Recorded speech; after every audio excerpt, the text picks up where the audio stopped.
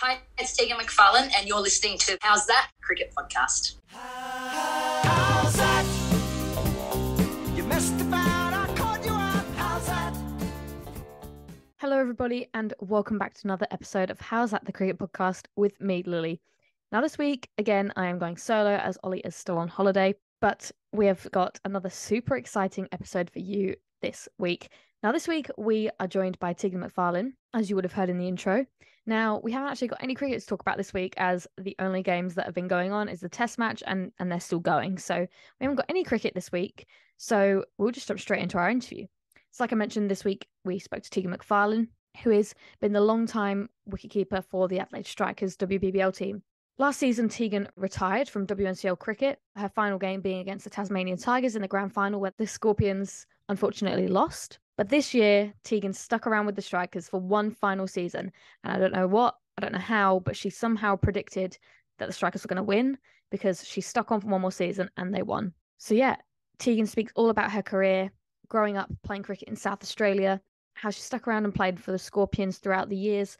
Started playing in 2007, so she's been with the Scorpions for a long, long time. She's been with the Strikers since the very first season of the Big Bash, so she's been in it for eight years. And like we said, this year was her final year, and she managed to bring the silverware home. So enjoy our interview with Tegan McPharlin. Oh, superb work and given! Oh, that is absolutely magnificent from Tegan McPharlin. You won't get a better stumping down the leg side than that. Welcome, and thank you very much for joining me today. Thanks for having me, Lily. Do you mind just telling me like where in the world you are at the moment and what you've been up to? It's been a pretty hectic couple of weeks, hasn't it? So how have you been? Yeah, pretty good. Um, yeah, definitely nice. A couple weeks ago now to uh, bring home some silverware. So um, I'm just back in my home country town of Balaclava. Um, just settling back into um, life back in the country. Um, yeah, as you can see, the farm behind the crops. Um, yeah, this is what this is where I love to be. So um, yeah, it's definitely been a whirlwind. Uh, well, a couple months really, but um, nice to be home. Yeah, brilliant. Like you mentioned, it's been pretty good to bring back the win for the Strikers. But before we get into that, we'll just go right back to the very beginning. Now, born and raised South Australia, tell me a bit about your cricket pathway in South Australia and you know, how you first got into the sport down here. Yep. So growing up in uh, my small country town of Balaclava, it's about 100 k's north of Adelaide. Um, I guess I played a lot of my cricket or a lot of the sports um, with the boys at that time. And uh, yeah, so I've got two younger brothers, and um, we were definitely sport mad kids. Um, and, and gave everything a go. And I just tagged along with my brothers to Milo cricket as it was back in the day. It's now Woolworths Master Blasters, but um, yeah, so I just tagged along with them and and really loved it. And um, yeah, we had our own cement pitch out in the in the backyard and also the the grass backyard that every other kid has as well and yeah I sort of progressed from there and I was really blessed to have parents that were willing to take me to Adelaide um, for trainings and I sort of progressed through the um, pathway um, with the SACA through that. So what was the pathway if we get into like the little bits of yeah the teams you played for what were your teams that you represented in order to get to where you are now? Yeah so out of that um, I guess Milo program at the time. I, I, I played under 12s here um, for Balaclava, and through that, um, Sean Williams um, nominated me to trial for the under 12 SAPSASA team, um, and we went away to um, Cobram in New South Wales for my first tournament, um, and then from there, I guess at that time there wasn't a huge amount of girls playing cricket um, because I guess it wasn't really on the map at that stage that I sort of was lucky enough to progress through the um, under 15s, under 17s, under 19s as it was at that time. Um, yeah, before being uh, picked up by the Scorpions. So a lot of players travel and go to different countries and play like for counties or international tournaments. Did you ever do any of that, or was all your cricket based here in South Australia?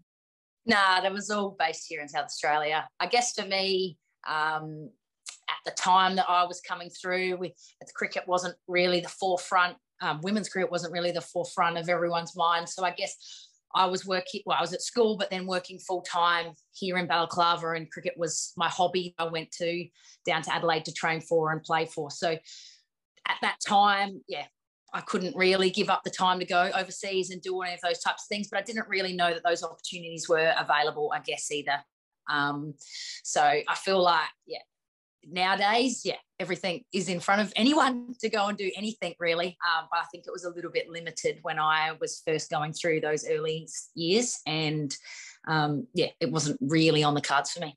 Yeah, okay. And you said you were working and then having cricket as a hobby. If you don't mind me asking, what were you doing as work? And when did you kind of go right? Like I can, I can play cricket. Like this is a thing that you can do as a job.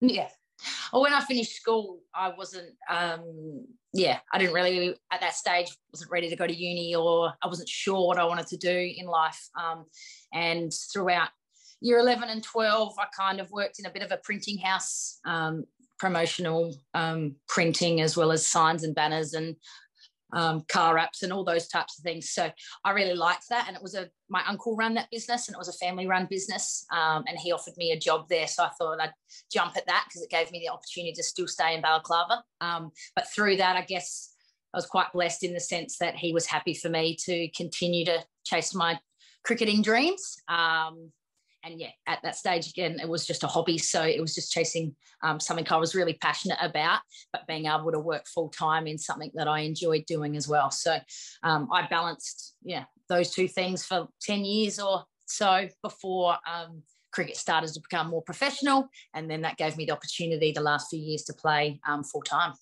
That's brilliant. And then going into that, you know, you mentioned obviously playing for the Scorpions. You also played indoor cricket. Now, tell me a bit about how you got into that because it's obviously not as popular as, as outdoor. So, what made you want to play a bit of indoor cricket? Yeah, that's right. I'm just a cricket lover, to be honest. Um, and I guess it's sort of come about, um, would have been roughly 2016 potentially now. But I went away on a trip overseas um, with Nisha Isles and Rebecca Pollard um, and we were in Hawaii and um, we started talking about different things. And Nisha um, has been playing indoor cricket for a long time and she was trying to get Steph Morrison and I to join up and we were like, oh yeah, we could.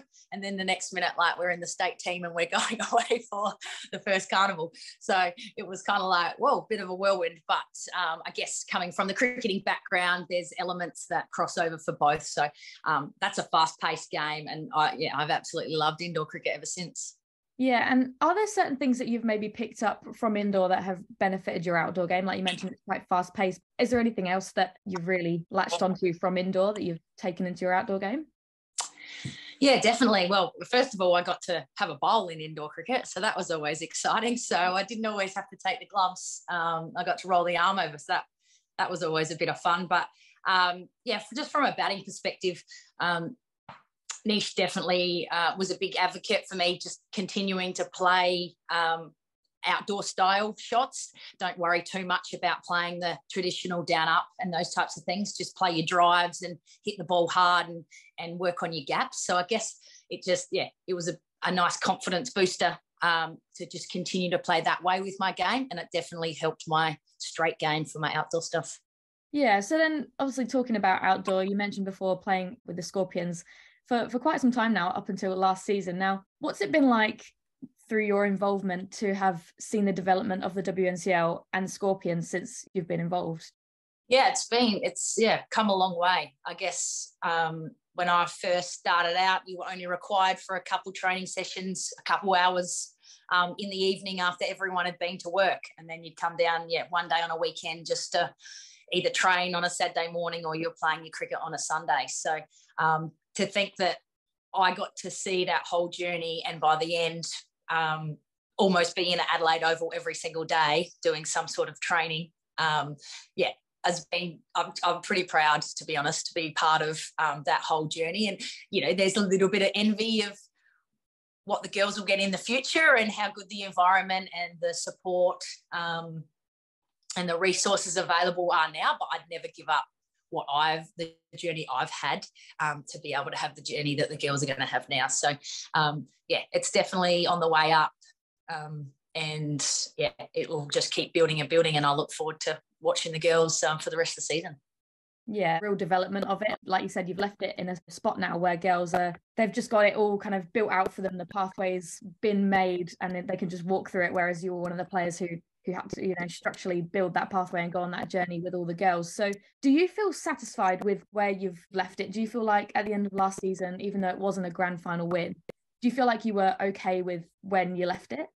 Yeah, absolutely. And I think, um, yeah, in terms of that loss in that final, it, it, they're very hard to win. Um, and so I guess just making it um, and being a part of that as my last game was still pretty cool. And I, I always reflect back to 2015 when we did win our um, WNCL title, and that really holds a, um, a special place in my heart.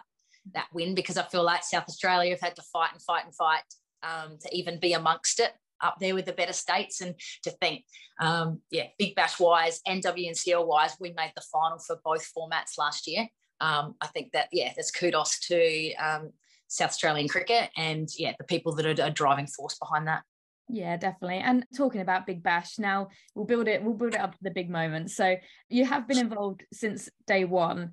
Pretty sure Sarah Taylor was keeping in the very first season. I, I think you were you were just with the bats, yeah.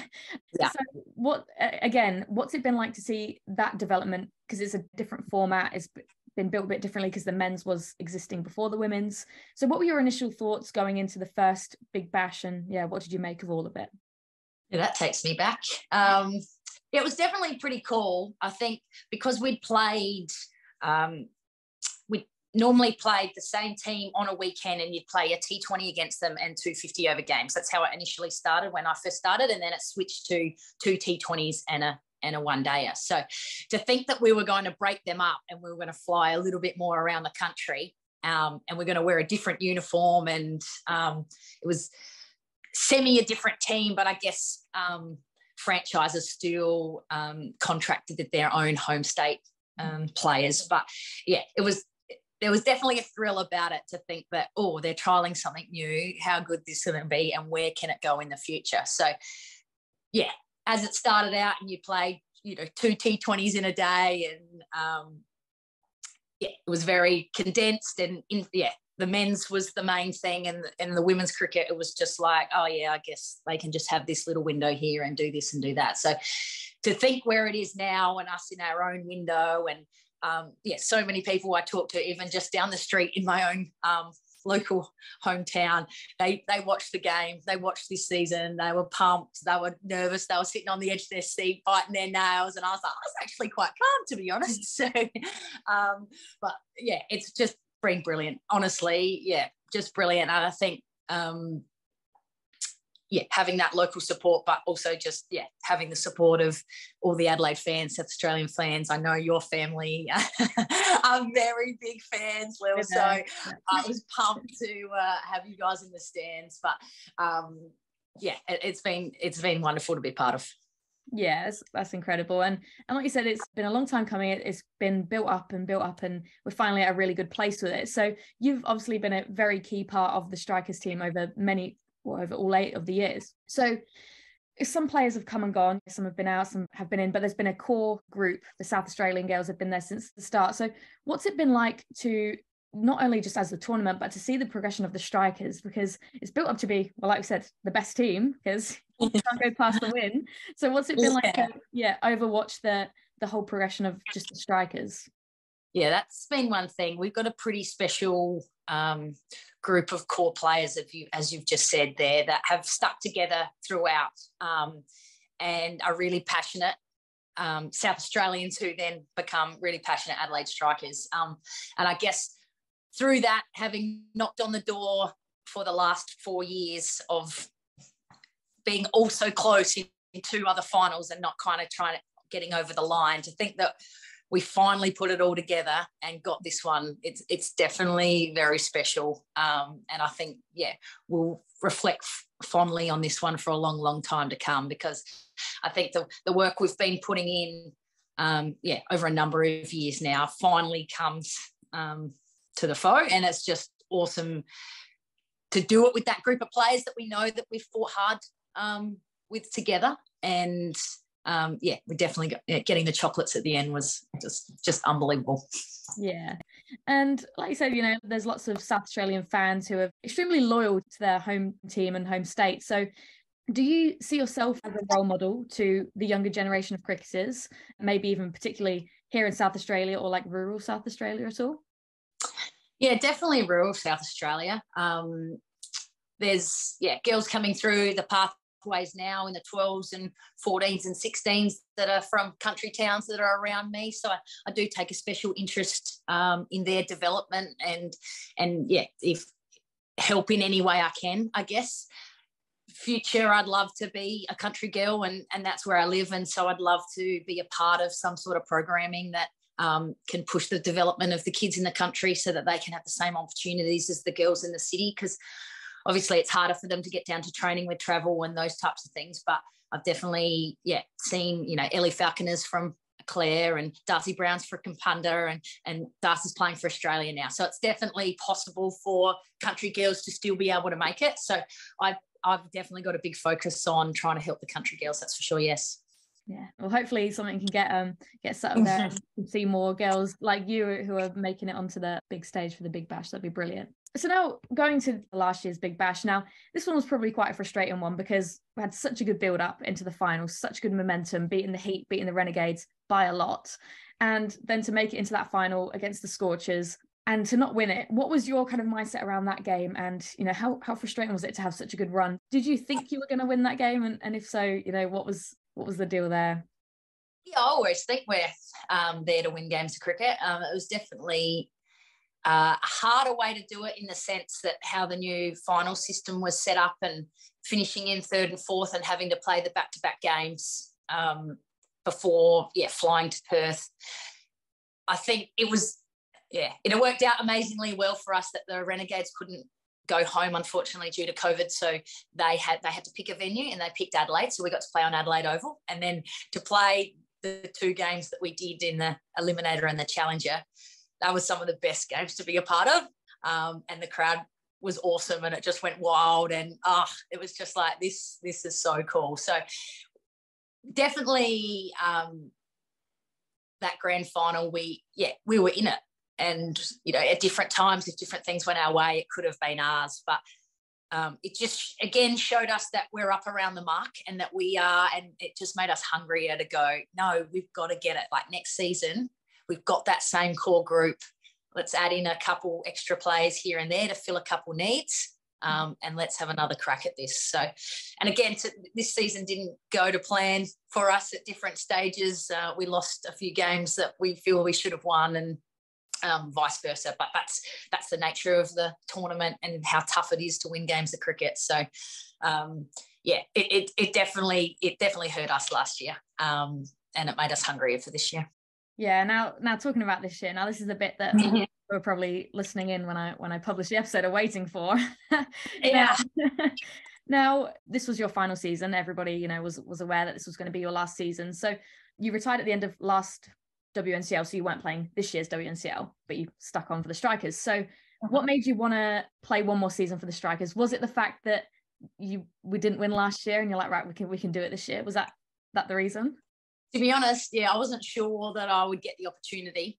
Um, I guess the one day format format is more suited to my um, game style. But when Luke offered me another contract with the Strikers and coming off the back of um, two losses in two grand finals last season, I was like, oh, I mean, it will be a different build up for me because I'm so used to going back to preseason in June and having to worry about all the running and um, the gym and all those types of things. But I was like, he's after it. Well, yeah, he, he wants to keep our core group together. Um, and he has enough confidence in my keeping ability that I would be able to keep myself in some sort of shape ready for that, that I'd, yeah, absolutely jumped at the chance. And I figured, um, yeah, with re- retiring from WNCL that I needed to be someone who had a longer journey retirement um, because it's been such a big part of my life. And it's hard to let go sometimes. And I thought if I had um, a few more months to get used to the idea of retirement, that it would help. And then to top it all off with a, um,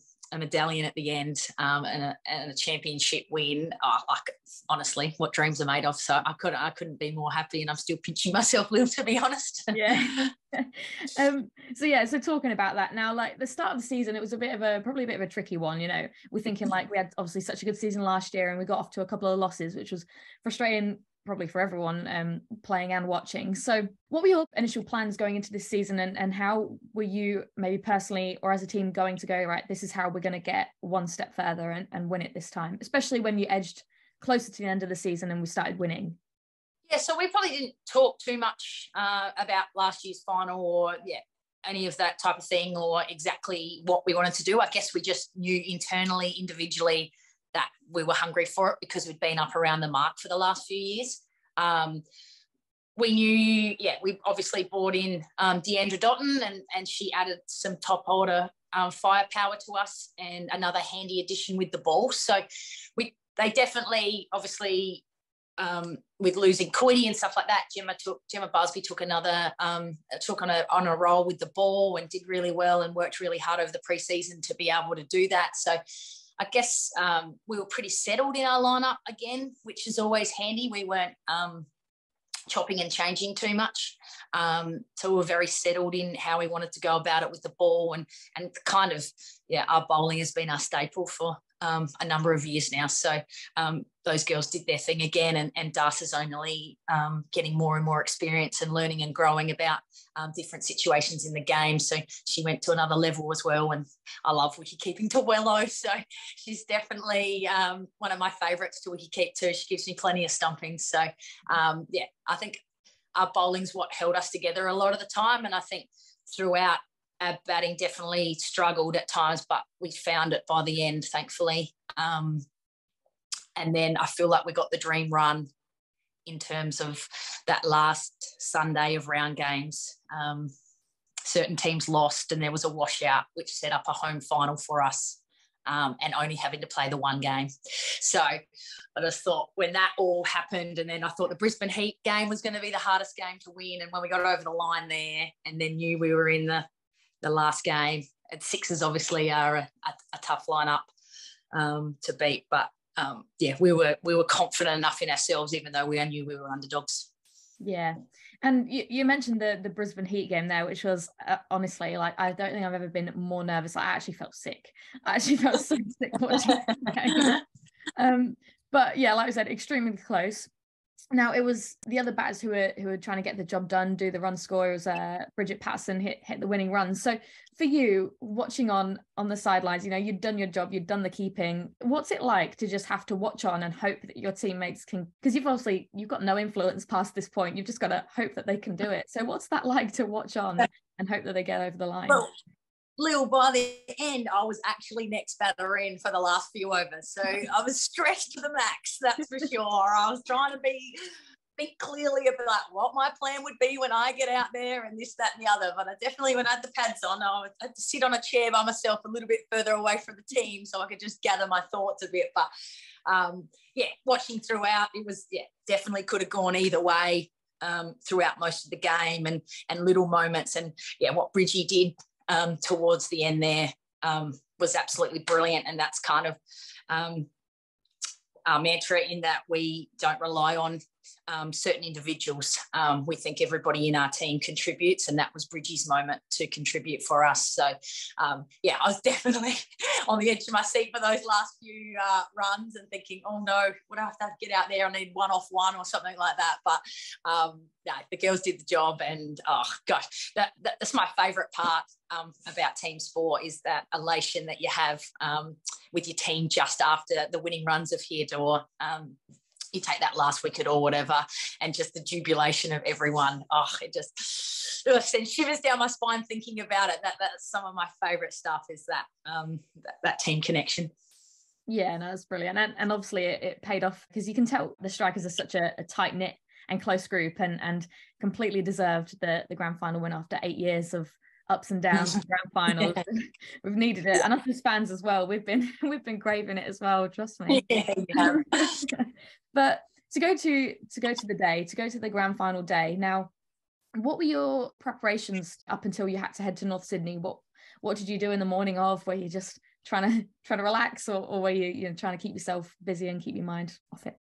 Yeah, I didn't. I, I was pretty relaxed, to be honest. Um, I guess because we'd had the early morning on the Friday, um, it was a good chance to sleep in, and um, a few of the girls can't do that type of thing. But I could definitely um, I can definitely have a sleep in. So I, I was just chilled in that fact and went downstairs and had breakfast with a few of the girls. Um, and then I don't know, it all come around pretty quick, to be honest. Um, I didn't do too much. I'm a bit of a bit of a journaler, so I did. I just wrote a few things down and um, yeah, got your thoughts out of your head in in that regards. But yeah, I just relaxed and um, watched a bit of TV and and went for a walk and yeah, just I love getting on the foam roller and spiky ball and those types of things. So I just made sure the body was um, ready to go and and then just enjoy the occasion because I guess being in them a couple times now, you've kind of had that experience a little bit too. So you definitely know this to um, yeah keep calm and and enjoy the experience because they're hard to come by. Yeah, and and even like I guess making the final one, obviously winning is is better. But for you knowing that it was your last your last game and your last season, that that probably was a bit more of like a right. Let's just let's just go out there and just not worry about not worry about what happens. Just just enjoy. It. Yeah, it. that's right. I think I was more stressed uh, the weekend before um, with the last round games because I feel like sitting in fifth at one stage wasn't sure if we'd make the finals all together or how far we'd go, and I was like, when is the when is the moment that it's my last game? When do I need to tell my teammates and and this type of thing? So it was kind of I was probably more stressed on that weekend um, trying to work out those things. So I guess when we had the last game of the round on that Sunday and you know other teams had done what they'd done and we knew we'd made the finals i could relax just enjoy that last game there.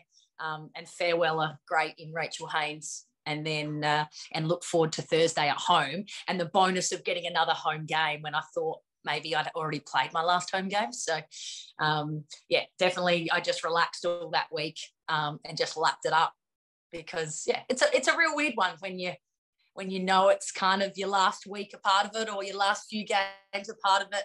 Um, so you, I just definitely tried to lap it up as much as I could. Yeah, and and you mentioned there about you know not knowing whether it was your last home game because I remember it was the last like round game and you had all friends and family all come out and yeah. it was a big you know farewell and then you're back again like the next week back again. I know it was weird. I just saw that that uh, challenger then as a, just a bonus game. Um, yeah. So that, that was excellent just to be able to have yeah the family and friends come again. So and they're pretty loud cheerers, um, the McPharlin family. So uh, yeah, they definitely know how to embarrass me. yeah. So yeah, back to this game now. Obviously, playing in front of a, a mostly Sixers home crowd, you obviously had the occasional Strikers fans. Your family were there. Um, we were there, and there were some other family members there. So what was it what was it like to you knowing that there were some Strikers fans in the crowd and, and did that maybe help you in any way knowing that there were definitely some people there cheering you on and supporting you? Yeah, yeah, absolutely. Um, and yeah, there was definitely some extra SACA people that come across too. So it, it was more obviously with the littler um, strikers supporters that we, we, knew it was just family and friends though. So um, we definitely knew that they would nice be as loud as they possibly could, even amongst a, um, a big Sixers um, fan base. But the the crowd was yeah awesome to be honest. I mean, they, yeah, it was harder to hear when we did something well. There was no cheering, but when when the Sixers hit a four or a six or got a wicket, it was electric atmosphere to be honest. Um, and it would have been awesome if it was our own home crowd. But um, yeah, uh, it was brilliant that yeah, my family could come over, and um, yeah, Maddie and Katie's families were there. They've already been from Sydney, and and you guys could come over, um, and and some extra staff, and and Darcie's parents were there as well. So yeah, we did definitely had a little a little small cohort. yeah, yeah. It was um it was a bit funny because we were obviously we were sit we ended up sitting with your family. Your family came and sat behind us when we were in our little group and and um people actually Sixers fans moved from behind us. So I, I take that as that we were being a bit a bit too loud, a bit too annoying. But um maybe they just left because they were going to lose. I don't know. Um, yeah, I, I think uh, my dad got in trouble by a few Sixers fans at one um, stage for being a little bit loud and yelling out, and there was a few devastated um, Sixers fans when um, their batting didn't start as well as they would have liked. And uh, I'm thinking, well, you guys have got six and a half thousand people supporting you, and we've got 30. So yeah. we need them as loud as possible. yeah, exactly. But yeah, so we're batting first, obviously set 147. Now it was under par. So so what did you make of that scoring? Did you think it was defendable before the second innings? Yeah, definitely. Um, going into the game. You would have liked a few more, um, but the opportunity to bat first, I think, um, was a big um, toss to win. And then I think putting up any score in a final, and then trusting in what um, our strongest asset is, which is our with our bowling.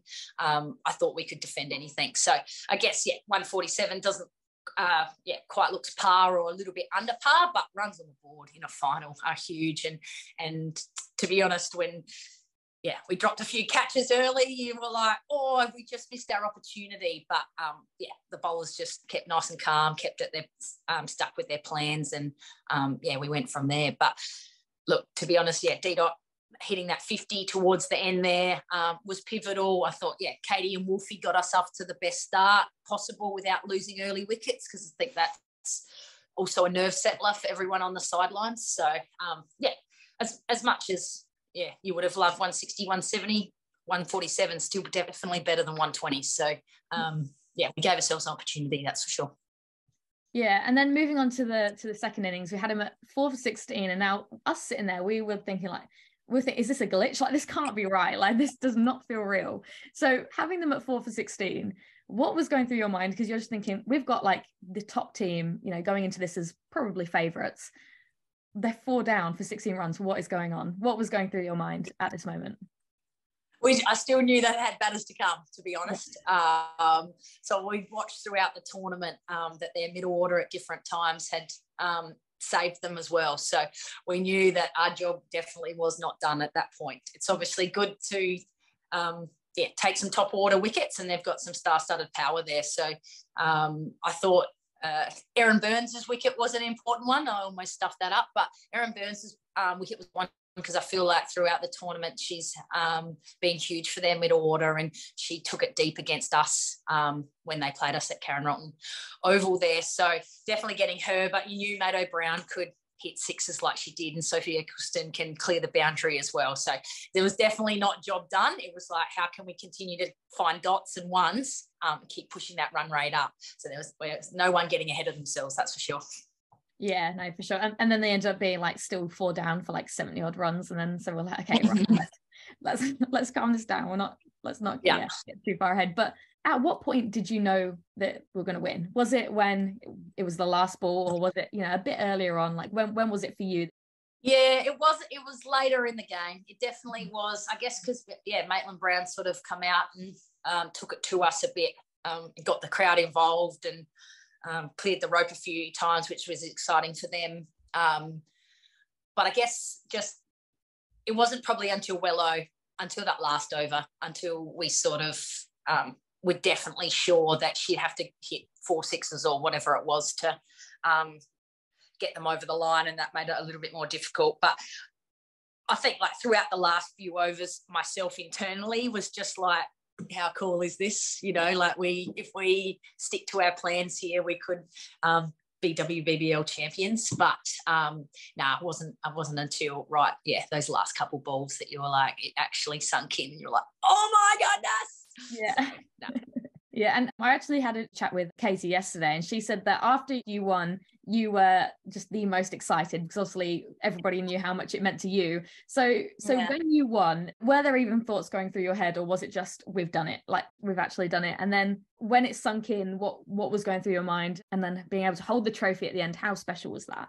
Yeah, very special. I guess it was just initially, yeah, it was the just the elation of thinking, oh, we've done it, but it never really properly sunk in mm-hmm. um, straight away. And I guess you normally find whoever's nearby to give a hug and those types of things. And when we finally come together as a team, I somehow just ended up in the middle and I just went ballistic. Um, and everyone was um, messing up my hair. And yeah, it was a cool little moment that they sort of um, just put their little bit of attention onto me just for a split second. Um, mm-hmm. Yeah, because yeah, they kind of all knew that it was my last and all those types of things. But um, yeah, it was all a bit of a whirlwind afterwards, to be honest. I still didn't really sink in. I yeah, raced over to see my family, jumped on a FaceTime um, to the Maccas at home um, just to say hi to everyone. And and yeah, then next minute we are on the stage getting our medals and and then pictures with the cup and uh yeah, uh, the whole experience just was unbelievable, to be honest, unbelievable. Yeah, it's absolutely incredible. Um, and super glad that I think everyone was glad that we could we could do it, and not only just do it, but but do it for you as well. I think that was a really special moment, seeing as you'd been there since since the start. It was yeah, really special for that one as well. Do you have a favorite moment just from the entire night? Uh, for me, it was probably. Um, I mean, it was nice to get out there and bat one last time. Whether that went quite to plan, um, it was just nice to be out there right at the end. And I guess um, I went to, so I did some coaching a few days later, and one of the girls said to me, um, You'll be forever not out. And I thought that was just kind of cool to think that, yeah, I didn't get dismissed on my last time that I walked out to bat. So I thought that was um, a pretty cool um, little thing to think about. But um, yeah, it's, it's hard to pinpoint um, moments. I think the, the whole thing, the, the last ball elation, all those types of things. It was nice to get a dismissal to finish out. I would have liked to have done it a little bit more cleanly than I did, but um, it was nice to get in the dismissal column one more time. Um, but yeah, it, just as a whole, just ridiculous, unbelievable. Yeah, yeah, it's amazing, and that, like like we said, not only for, for you girls, but for for the fans and the family as well. It was an incredible game, and my cricket highlight was the two games against the Heat and Renegades last year. But that's been topped. That has been topped by this game. Let me tell you. that has been topped. I can imagine. I think I might end up getting a um, photo sent through of um, your dad must have taken a picture of himself and with my family in the back. Oh yes, bro. I think so. he did take a selfie. Yeah, he did. yeah, that was when they He's taking a selfie yeah. and the rest of my family like, yeah, how good. yeah, that was when that was when we were like, right, we've we've got this, but we're all still very nervous. So we're like sitting down, like, right, let's just enjoy this moment. But yeah, that's yeah. funny. But you're glad you were there. Though. So glad, honestly, it was like because we're thinking like if we because we travelled over for the Brisbane one where it was against the Heat and we're like, you know, it was a disappointing travel home. So we're like, let's just hope it's it's a it's a fun travel home. So we wore our shirts, we wore them on the plane. we're like, we're not changing into our normal clothes. We're wearing these shirts. Um, so brilliant. Amazing. You've definitely been one family that's been a massive supporter of, yeah. of the Adelaide Strikers. So we, we definitely know. We always look around. Are the, are the Harveys in the, yeah. the crowd today? Yes, they are. Look at them. Always. Like just amazing. So yeah, definitely as much as excited as you would be. Yeah. you can yeah. imagine uh, how excited we are as well. Yeah, absolutely. No, it's it's been an absolute pleasure to you know follow you girls around and to watch you. Cause, like I've said, don't think we follow any other cricket team as closely as we do for the Strikers, so it's been brilliant. But yeah, now, do you have a, I guess, a favourite, aside maybe from the win, because I know that's pretty incredible, but do you have a favourite cricket memory from your career that's maybe a couple that's really stood out to you? I think I, I mentioned it early, definitely in 2015 when we won the WNCL title. Mm-hmm. Um, we'd, we'd made the final the year before and got smashed by New South Wales. So to have fought back um, and made it the following year, I, I, think like we learnt a lot from that the previous year. We were just we just couldn't believe that we were in a final um, that previous season. So um, to make it the following season and then um, be good enough to beat New South Wales, um, yeah, that that was that's a, a pretty special one for me. Um, personally, yeah, I debuted in 2007, I think it was, in the first game actually against New South Wales. So um, yeah, that was a really cool moment. And Andrea McCauley gave me my cap. Um, and then at that time, she was just an assistant coach, but she went on to um, coach the Scorpions for a number of years there and was a big advocate um, of mine and, and probably someone that I owe a lot to um, in keeping me in the game and, and giving me opportunities um, in my cricket. But um, yeah, throughout, there's, there's, I've got a couple favourite dismissals um, throughout the journey. There was one I can't remember if it was the second season of the Big Bash or the third season out on Adelaide Oval, was keeping to Wello. Cappy went down the wicket, actually got an outside edge, um, and it went kind of sharp, um, high to my right, and I managed to get a glove on it, and I sort of just ended up aeroplaning it around because I couldn't believe I'd shot myself that I even took it. So um, those ones and sort of leg side stumpings are the be all and end all of um, of wicket keeping. So I've got some special memories of those a few dismissals like that. But yeah, yeah, just what I craved the most. So yeah, definitely went out on the right note. yeah, and like you, you mentioned, obviously beating New South Wales. It's it's nice to beat New South Wales, isn't it? It's bloody nice. yeah, they've been, they've, yeah, they've sort of, um, yeah, been that top team for a, for a long, long time, and sort of the yeah the drivers of it initially. So everyone's been chasing them, but we're sort of leveling the playing field a little bit now. So it's good to see. Yeah, and you've done it for the South Australians because, like we said, we've always been the underdogs. It's always been hard to get up to the same level as them, and maybe even like Victoria. So to, in order to to do it for the, the South Australians, it's is very nice, nice feeling to um, to get it done. That's for sure. I'm definitely a proud South Australian. yeah, yeah. But yeah, that's all the questions I have for today. Thank you so much for joining me. It's been brilliant to chat to you and, and congratulations on the win again. What a what an incredible season and what a way to wrap up your career. It's been incredible to watch you and yeah, absolute pleasure to um like I said, follow you guys around and, and watch you over the years. It's been incredible. So thank you. Thank you, Lily. Thank you very much for the support.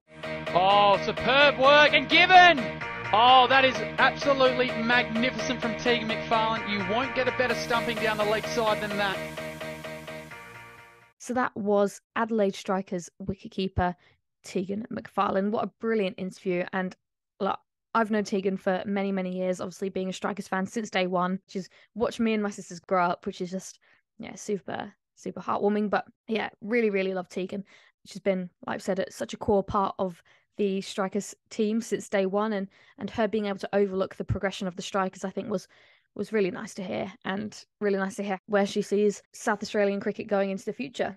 Like I said, Tegan obviously retiring is, is going to be a huge loss to the South Australian cricket world. She's been a huge part of our teams and everyone involved in South Australian cricket, and I'm sure Australian cricket are going to really, really miss her. So, Tegan, thank you for all you've done for South Australian cricket. You've paved the way for many young girls, and like you said, you're a big role model for all the girls in the country to show that it is possible and you can represent your state in the Big Bash and in the WNCL as well. So thank you for all you've done for cricket, and we'll really miss seeing you on the field. But like we said, I'm sure we'll see you around. But yeah, that is our episode for this week. We really hope you enjoyed listening. If you enjoyed it, you can follow us on Instagram, Twitter, or TikTok at Howzat TCP. You can send us an email at Howzat The Cricket Podcast at gmail.com, or you can leave us a rating on Spotify as well. Next week, we will be back with Harry Conway, who is Adelaide Strikers SA Redbacks fast bowler. And he's known obviously for his array of impressions, which he talks to us about. So, yeah, just a, a, genuinely funny guy who was absolutely brilliant to talk to. So, make sure you stick around next week for that one. But that is all from me this week. Really hope you enjoyed listening.